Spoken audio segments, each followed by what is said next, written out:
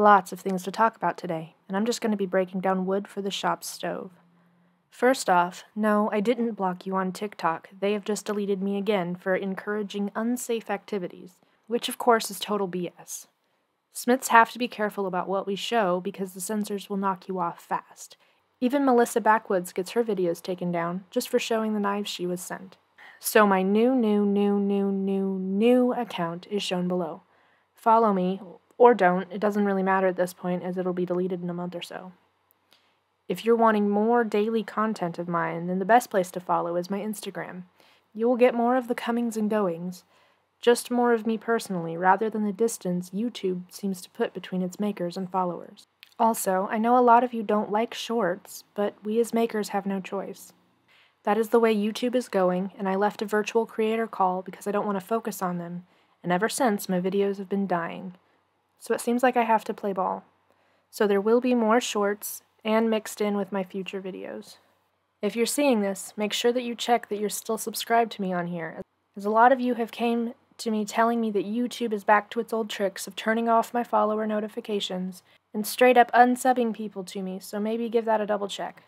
Also, check out these awesome videos that you might not even know were there. So, what is coming up for the channel and all of my projects this year? Let's start to break it down. First off, you will all see a few videos that you've already seen be re uploaded for two reasons.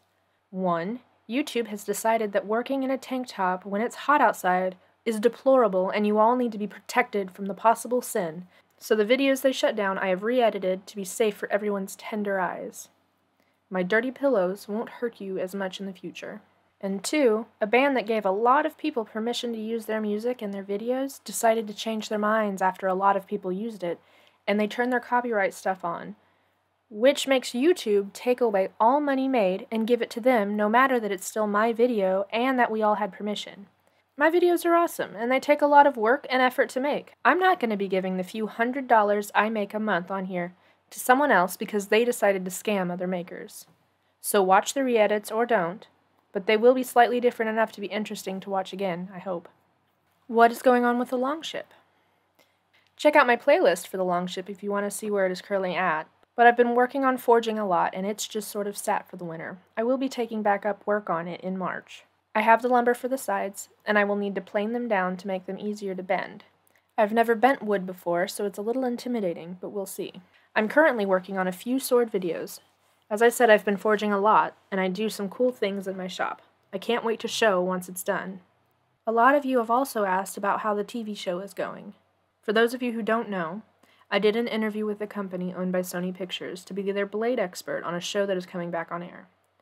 I was told that I was who they wanted, and given the details about flying out to LA, the shoot schedule, everything. Then nothing.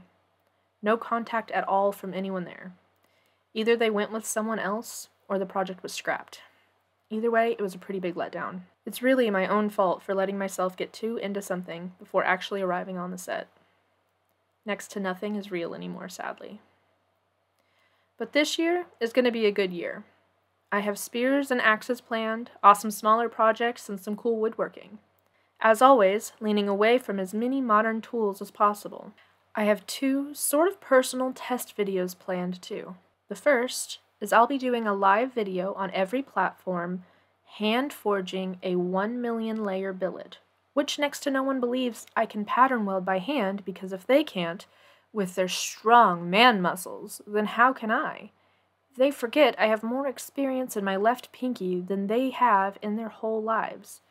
So I figured I'll just put all of their crap to rest with a live video showing it with no edits, and then anytime someone says anything, that video will exist to put it to an end.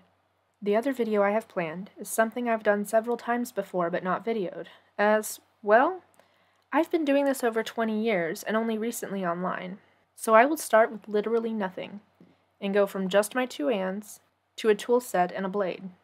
People are always, and I mean always, crying online about how they can't afford to be a smith. It literally costs nothing to smith as long as you're willing to work. You don't need any fancy tools, you don't need electricity. You just need to put in effort, research, and time into getting these basic skills. But it seems people just want to punch their ticket from starter to master as fast as possible. I don't talk about other smiths' work. I'm not here to focus on that. But what's being pumped out recently into the digital marketplace? Woof. So much misinformation is being spread by people who have been doing this craft for six months, and no one respects experts anymore. It's all about who can talk the loudest and look the most rugged. The lies that are being spread to validate crappy work is now being seen as true and the standard. God help anyone who uses these blades in a life or death situation. So that leads me to my last point. I'm going to be doing more teaching online, showing people some of the right paths, giving the real knowledge about the history of steel and science. All of my college and adult life has been spent in real research with the right books, peer reviewed documents, artifacts, and scientific work, not reading crappy Google search Viking lie articles paid for by the History Channel or some ancient alien stuff. So, those of you who like the truth and facts, you are all in for a treat. I hope you all have a good day and that you are staying warm.